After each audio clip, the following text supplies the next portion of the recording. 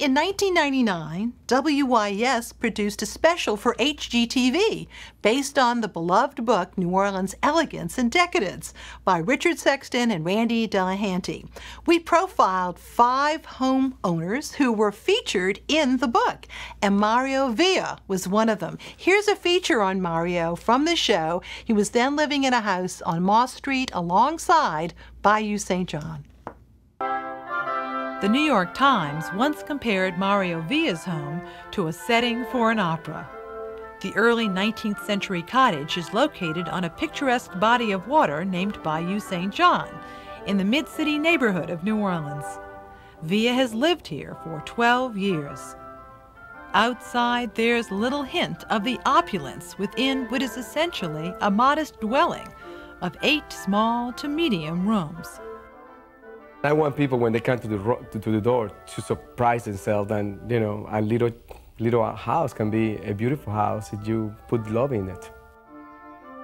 It is the parlor that's truly a standout. Since I was close to the water here, we have the bayou in front of us, and I saw the Grand uh, Canal in Venice. So I want this feeling of this room to be an old Venetian palazzo running down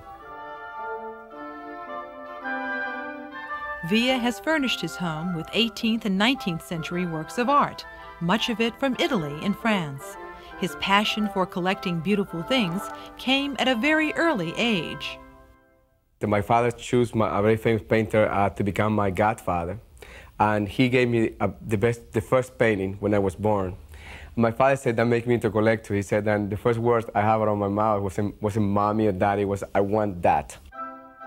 Villa's diverse collection also includes art from Latin America, a fanciful chair by Mexican artist Pedro Friedeberg, works by Matisse, and only occasionally Villa's own creations.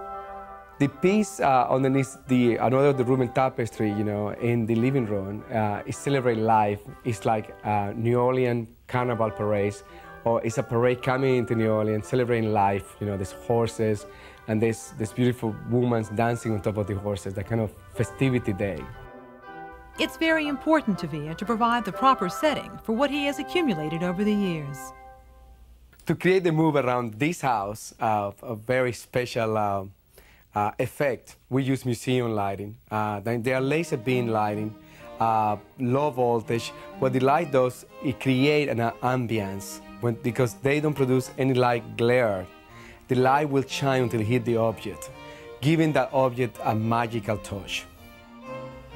Villa had to use some decorating magic of his own after realizing that the wallpaper in the library was glued to the plaster and too costly to remove. He painted over the existing wallpaper to resemble an almost marbleized pattern.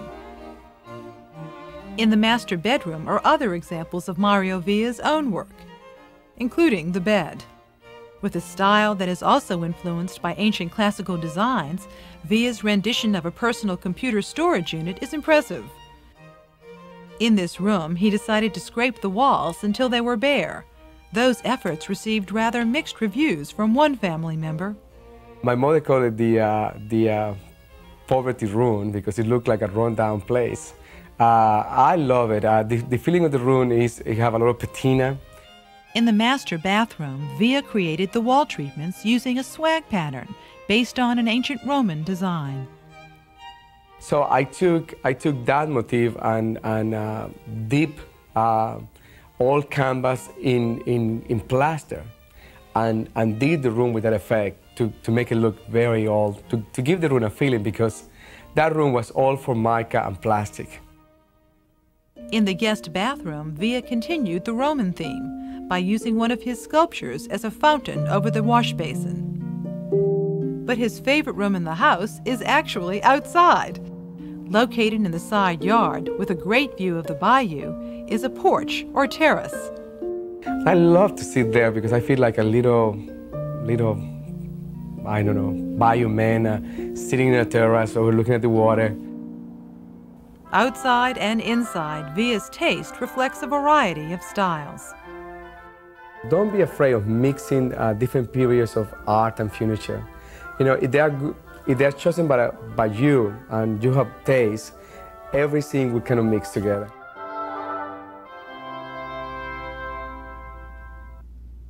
Doug, a final word? Just that in addition to being an artist and designer, he also was a gallery owner and introduced a lot of uh, the next generation of uh, young contemporary artists. So yeah. there you go. Thank you so much.